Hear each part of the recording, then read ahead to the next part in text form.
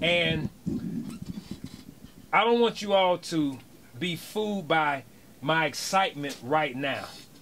Um, it's kind of bittersweet. We're living in the best of times, and at the same time, today is a, a day of mourning for me and for my family, and even for many who, um, even like yourself, were affected by the ministry of Bishop Eddie Long. And it's 3:27 a.m. on Sunday, January 15, 2017, when he expired in time and stepped back in eternity. And we're sitting there at the house like, wow, you're funny. Because a Coretta Scott King would lay hands on you and, and call you son. And hmm, a Bernice King would serve in the house and in the ministry as an elder. You would pick up the torch and, and, and run like so many with what the civil rights leaders were doing 20, 30, 50, 70, 80 years ago. Ain't it funny you would transition on the birthday of Dr. Martin Luther King? And even now, as we're praying for those indicator family of Bishop Quincy Carswell, who even transitioned this week, and we're celebrating the life of John Lewis, who came out and stated he has pancreatic cancer. My dad was so freaking private. He didn't want nobody to know that that's what he had. the Superman ego syndrome, as you're talking about, that you're working through. But y'all had a very unique and peculiar relationship. Um, brother sister relationship, a legacy relationship. As we said, we're we're tied by more than just being African Americans. And you have walked with me through many things as as somebody who's many steps ahead of me in this march called life and, and being second generation. I'm saying a bunch right now. You catch the spirit of what I'm saying. Um, I just want to hear from you and how you're feeling today and just some of your thoughts even about his life and the impact that he had in his 63 years on this earth. You know, the first time um, I heard your father um, was uh, probably in 1989. Um, I came to visit New Birth. I was at my home church, Ebenezer Baptist Church. Um, and I distinctly remember that um, he had a sound and a message that was different than most that I had ever heard. Um, and uh, at that particular time, I had no idea because it was like, what, 12 years later before I connected uh, with New Birth, um, that I would connect with him and, and New Birth. Um, he, he really awakened something in people about who we really are. Uh, and it seems like there's a void of that now Boy. um, in in the uh, in the in at least in our nation. I can't speak about other nations. Um, your father said something that was really interesting. I don't take it. Some I said it to somebody the other day, and they said, "Oh, he cursed you all." No, I didn't take it that way because I un- I understood because of where I am now. He said, "Y'all gonna have a difficult time going anywhere else," um, and that's true. I listen, I listen, and this is no slight against every man and woman of God because I respect all of them.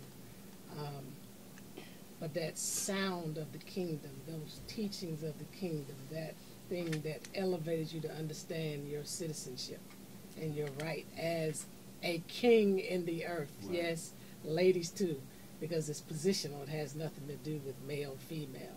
Um, as a king, um, is what he tapped into for so many of us. Um, and so we thank God for his legacy. We thank God for his life. Um, and he was doing some revolutionary things. Um, and uh, I remember when he talked about um, we don't we don't come to take sides, we come to take, Take over.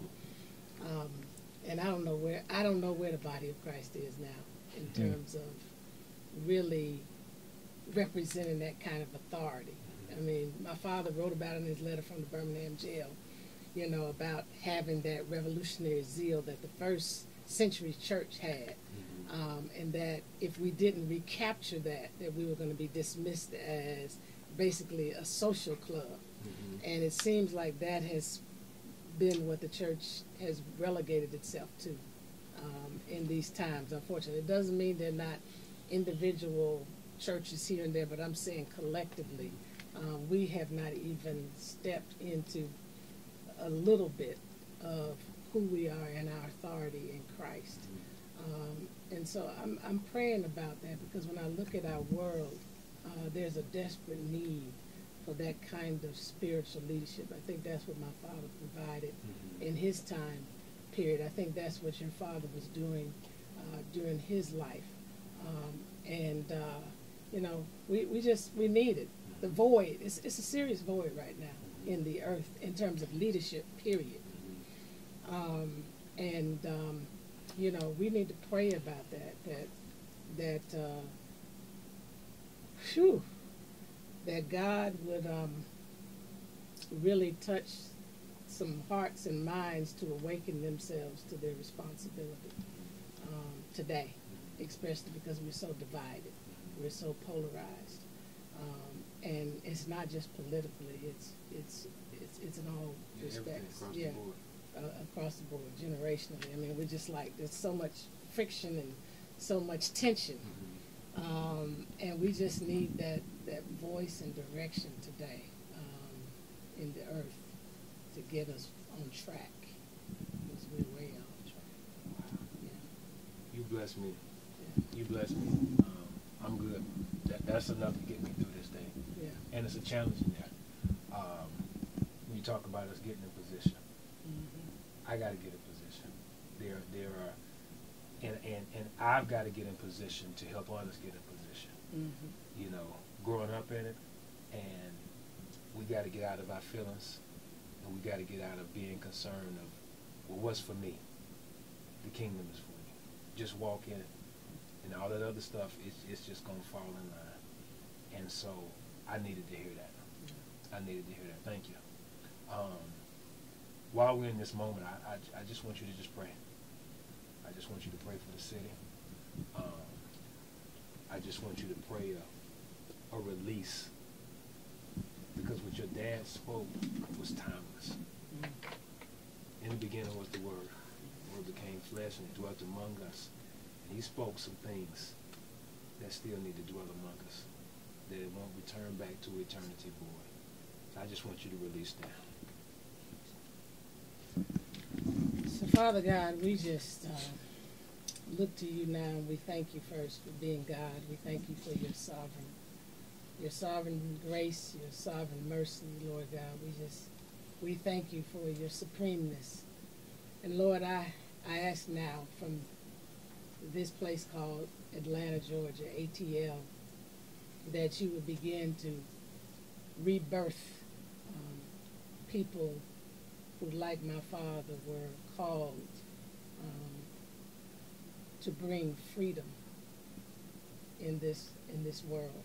There's so many people that are locked up and entangled in so many different situations and circumstances. So many of us are entangled in systems and structures and institutions, Lord God, and situations, Lord God. And so I ask right now that you would bring the spirit of freedom into the atmosphere, that we might be freed from those things, Lord God, and that we might be uh, operating in the spirit of Christ. There is a need like never before for the spirit of Christ to manifest itself in the earth, the spirit of Christ that walks in that unconditional love that I talked about earlier, Lord God we need that in this time like never before. There's so much hate right now, um, not just in this city, but across this nation, Lord God. And so we just ask that you would touch hearts and touch minds like never before, God. You know um,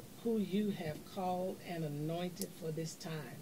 And I pray, Lord God, that they would rise up, that they would rise up collectively, Lord God. I pray for a mighty army, Lord God, to step forth forward even now. In spite of what resistance that people might feel in the atmosphere, Lord God, we come against that spirit of resistance in the name of Jesus, Lord God. And we just ask that you just begin uh, to cause these men and women uh, to be released and, and to step forward and to take uh, their rightful place and position, Father God, that they might lead us into knowing and understanding our kingdom citizenship and our kingdom authority, Lord God. Yes, we are citizens of this great nation, and we don't take that for granted. We don't take that light, lightly, and we appreciate it, Lord God. But Lord, more importantly, we are citizens of the kingdom of God, Father God, and we need uh, your generals right now to come forward and to lead us into understanding that and operating in that, Lord God. And we thank you for it right now. We love you for it. We appreciate for you. We appreciate you for it, Lord God. And we just celebrate you on this day that you sent to us uh, a prophet by the name of Martin Luther King Jr. His words will still will still resonate and they will come to pass because they originated from you. And we thank you for it in Jesus' name is my prayer. Amen. Hallelujah. Hallelujah. Hallelujah. It goes up. Listen, if that ain't lit, that don't get your engine running, I don't know what will. Be a king. There is a kingdom inside of every last one of us. It's time to go up, y'all. It's not a time to take off. This is a time to put on. Fam, I'm so excited that you came through to hang out with us this night and this morning. Thank you. Thank you. Thank you. I'm excited to be with you Saturday, Monday. Um, you're doing something you didn't have to do. You could have said, you know what? I'm just going to ride off into the sunset, live a good life, and keep it moving. I remember I was watching Boondocks one time, and it was a little parody about your dad. He said, I, I'm going to Canada. they never should have let you Negroes free. But you chose to stand instead and continue running. So thank you. Thank you. Thank you. Thank, Thank you. you for standing. Yes, ma'am. Yes. Yes, ma'am. We good. Yeah. Ladies and gentlemen, we back in the music. Listen, check the website, the King, Center, for more information. The full calendar is listed. Turn up, y'all. It goes up. Be a king. Cheer. Cheers.